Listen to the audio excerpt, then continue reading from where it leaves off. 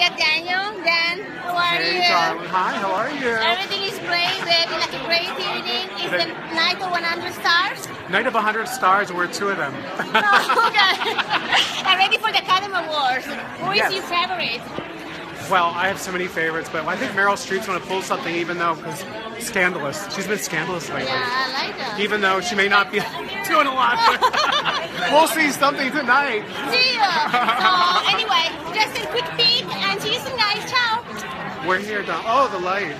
There you go. Look how gorgeous you are. You You're so gorgeous.